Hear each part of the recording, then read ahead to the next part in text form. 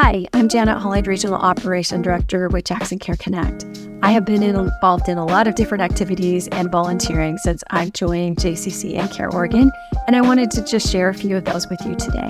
One of the activities that I really enjoyed volunteering was that we had the opportunity, due to the fires in Medford, to participate in helping plant trees in an area that had been burnt with the fires.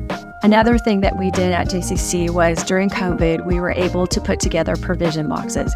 These boxes included incredible food and things for folks that had um, provided these services during COVID in our community.